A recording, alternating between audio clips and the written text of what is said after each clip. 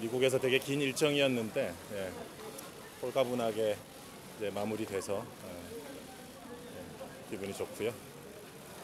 이제 조용히 원래 본업인 또 창작으로 돌아갈 수 있게 된 것 같아서 예, 기쁜 마음입니다.